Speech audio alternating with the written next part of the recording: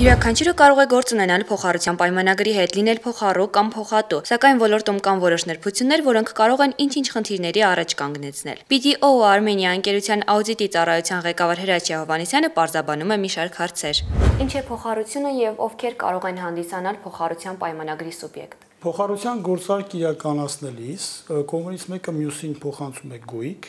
որոշ ժամանակ անց համարժեք գույք ետ ստանալու պայմանով կենցաղային լեզվով ասած սա պարտքով պարտք տալու գործարք է փոխառության փոխանցվող գույքը առավել հաճախ լինում են դրամ, դրամական միջոցներ եւ փոխատուն կարող է նաեւ պահանջել փոխառուից տոկոսներ որպես հատուցում գումար տրամադրելու դիմաց։ Փոխառությունը որպես շարունակական գործունեություն շահույթ հետապնդելու նպատակ հետապնդող առանձնացվում է որպես վարկավորման գործունեություն վարկավորման գործունեություն իրականացնում են արդեն լիցենզավորված անձիկ, ֆինանսական հաստատությունները, կենտրոնական բանկի կողմից վերահսկվող եւ սա արդեն առանձնացվում է նաև քաղաքունես գրքում, բայց նաև շարունակում է մնալ որպես փոխառության տարատեսակ փոխառության կողմեր կարող են հանդիսանալ ֆիզիկական եւ իրավաբանական ցանկացած սուբյեկտներ այստեղ չկա սահմանափակում եւ շահույթ հետապնդող եւ չհետապնդող պետությունը նույնպես կարող է հանդիսանալ փոխառության կողմ այս դեպքում պայմանագիրը կնքելիս նոտարական վավերացումը պարտադիր է թե ոչ? Օրենսդրությամբ պահանջ չի նախատեսվում նոտարական վավերացման չնայած ֆիզ անձանց միջև կնքվող գործարքները կարող են ունենալ նոտարական վավերացում, պահանջը քաղաքացի գրքով սահմանված այն է, որ փոխառության գործակները անպայման կնքվեն գրավոր, պայմանագրերը կնքվեն գրավոր, եւ այստեղ մի առանձնահատկություն նույնպես կա, որ փոխառության պայմանագիրը համարվում է կնքված ոչ թե դրա ստորագրելու պահից, այլ գույքը փոխանցելու պահից։ Ինչպես է վարվում փոխառության հաշվառումը հաշվապահական գրանցումներում։ Հաշվառման առանձնահատկությունները կարելի է տարանջատել փոխառությունը այլ գործարքներից տարանջատելու առումով անհրաժեշտությանը մասնավորապես օրինակ եթե մենք դիտարկենք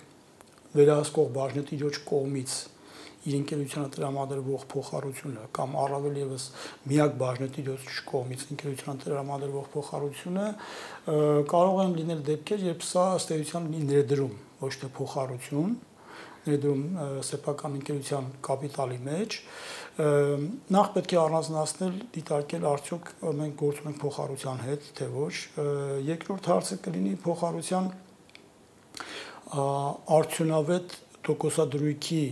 որոշման հարցը Հաշվի առնելով ձեր փորձը կխնդրեի մանրամասնել, թե ամենից հաճախ ֆիզիկական եւ իրավաբանական անձին ինչ բաստողումներ կամ սխալներ են թույլ տալիս փոխարության հաշվառման ժամանակ ինչպես նշեցի արդյունավետ տոկոսադրույքի որոշման հարցը կարող է լինել որպես խնդիր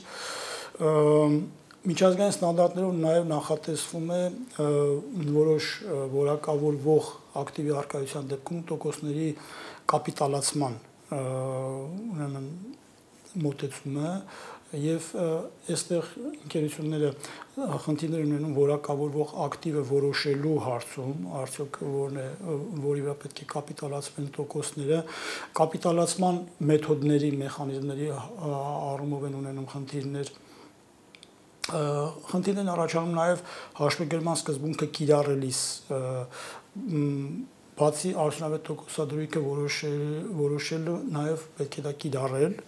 եւ այս կիրառելու ընթացքում հաշվեկերման սկզբունքը դրամարկղայինից տարանջատելու առումով եւ կիրառելու հետ կապված խնդիրներ են առաջանում հաճախ հանդիպում ենք նաև օրինակ փոխարժեքային տարբերությունների հետ կապված եկամուտները եւ ծախսերը որպես տոկոսային ծախս դիտելու բաց թողմանը անգամ ֆինանսական հաստատություններում մենք հանդիպում ենք, որ փոխարժեքային տարբերություններից գոյացող եկամուտների եւ ծախսերի հաշվառման առումով, այսինքն դրանք որպես տոկոսային եկամուտ կամ ծախս դիտարկելու առումով նույնպես լինում են բաստողումներ